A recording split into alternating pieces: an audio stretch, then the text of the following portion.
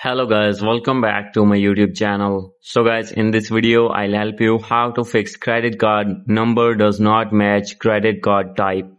So guys, when you try to add any credit or debit card and you are facing this issue again and again that your credit card number is invalid, I'll help you how can you fix this problem. So guys, you can easily fix this. First of all guys, you need to go back on your home screen and guys, now you need to going to back you need to open your settings again make sure that you have connected with strong internet connection and after this you need to go back so guys now you need to click on general and after this you need to click on VPN and device management if you have connected any VPN you need to disconnect that VPN and now you need to go back so guys now you need to click on transfer or reset iPhone click on reset and you need to reset your network settings and after this you need to go back from here guys you need to check for software update and you need to update your device to latest iOS version and now you need to go back.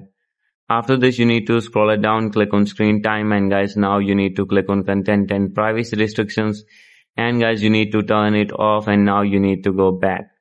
After doing all these settings you need to go back and open your settings again, open your Apple account and now you need to click on payment and shipping and you need to add your payment method again and after this your problem will be fixed. So guys, after doing all this method, if still not fix your problem, then guys, maybe your debit or credit card has been expired. You need to check expiry date of your card and you need to change your card. And after changing your card, your problem will be fixed. So guys, if still not fix your problem after doing all these method, then guys, you need to open your Apple Support app.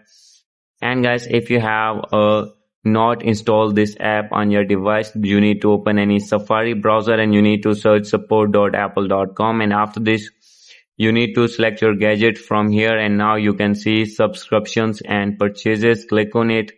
And guys now you can see the option of uh, update payment method. And guys now you need to wait for some seconds after this guys you need to click on call. And guys you need to call at these numbers and you have to tell your problem that you are facing again and again.